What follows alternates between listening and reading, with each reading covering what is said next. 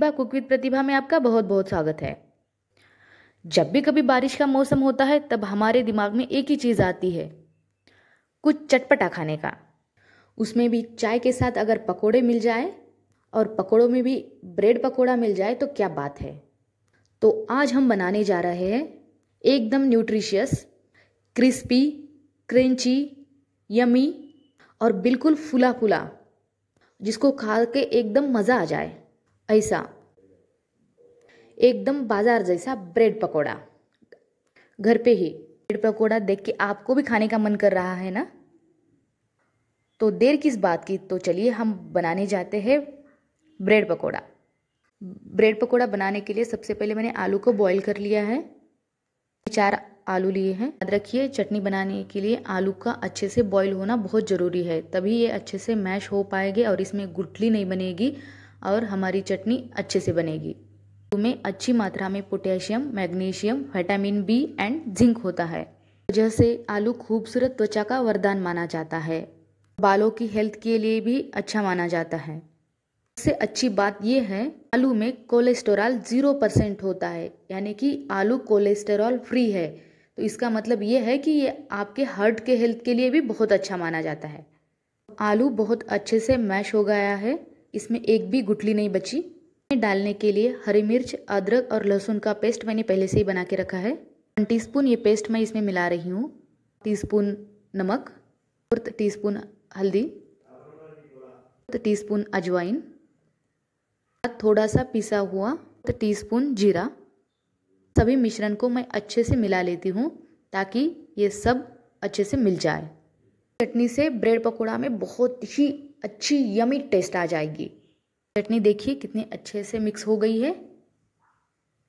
इस चटनी को ऐसे ही मिलाने का है, बिल्कुल कंजूसी नहीं करने का। तभी आपकी ब्रेड पकौड़े की टेस्ट बहुत अच्छी आएगी। हमारी चटनी बनके एकदम तैयार है। उसके बाद हम चलते हरी चटनी बनाने के लिए।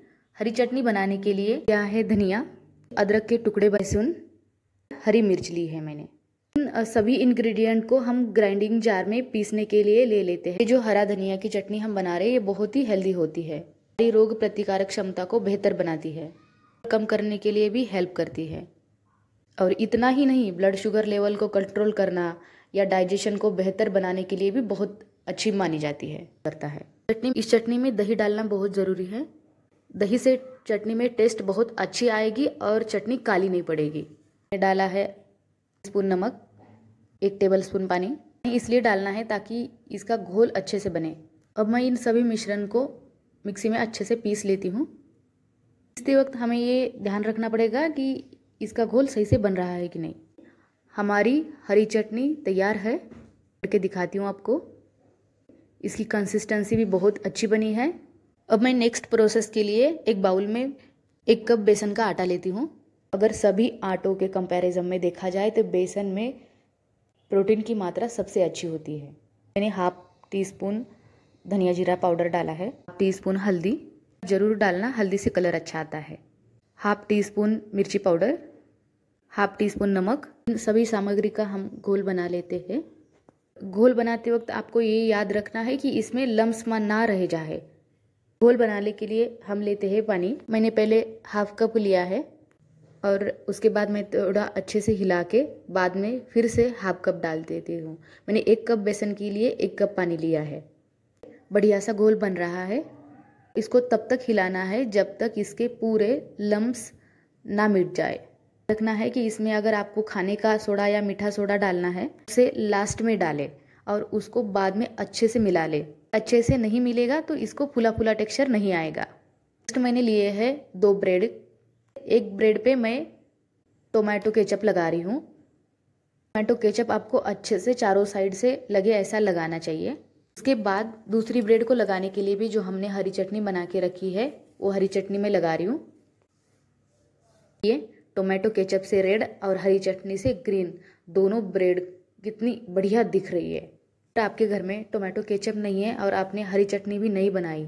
तो आप इस प्रोसेस को स्किप कर सकते हैं। अगर आपने नहीं लगाई तो भी नहीं चलेगा। अगर ये लगाई तो इससे टेस्ट अच्छा आएगा और लुक भी बढ़िया आएगा।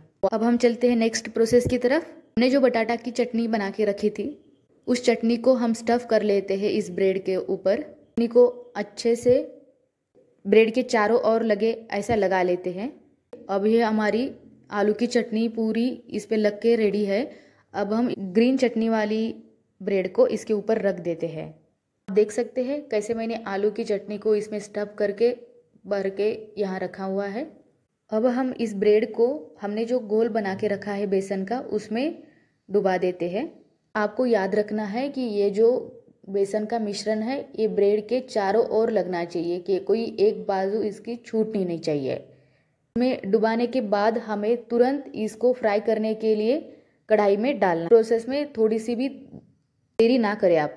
पहले याद रखिए, जब आपको इस घोल में डुबाना है, उससे पहले ही आपको गैस पे एक कढ़ाई में तेल गरम करने के लिए रखना है। डालने से पहले आपको चेक करना है कि तेल अच्छे से गर्म हुआ कि नहीं। तो ब्रेड को तेल में डालते वक्त ये याद रखना है कि इसको बहुत धीरे से डालना है। अब ये फ्राई होते वक्त इसके ऊपर आपको तेल डालते रहना है, ताकि अच्छे से फ्राई हो जाए ऊपर वाली साइड से भी।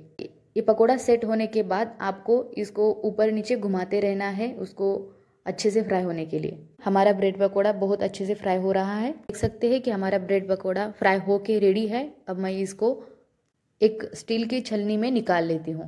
इसमें कुछ ऑयल बचा हुआ होगा तो निकल जाएगा। इस ब्रेड पकोड़ा को देख के आपको भी खाने का मन कर रहा है ना? आपको इस ब्रेड पकोड़ा को मैं कट करके दिखा देती हूँ।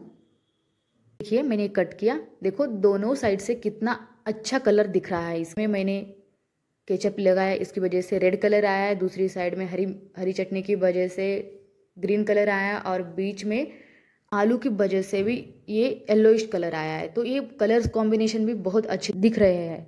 रेडी ब्रेड पकोड़ा मैं सर्व करने के लिए लेती हूँ। देखिए आप, जैसे कि मैंने बोला था क्रिस्पी क्रंची और यमी एकदम फूला फूला सा, बाज़ार जैसा ब्रेड पकोड़ा हमारा बन के रेडी है। साथ मैंने टोमेटो केचप और हरी मिर्च ली है। आप ये चाय के साथ भी बहुत बढ़िया से खा सकते हैं। ऐसे ही डेली टेस्टी, यमी और हेल्दी डिशेस के लिए आपने मेरे चैनल को अभी तक सब्सक्राइब नहीं किया होगा तो प्लीज़ सब्सक्राइब कीजिए, लाइक और शेयर करना ना भूले। अब मिलते हैं नेक्स्ट रेसिपीज़ के साथ।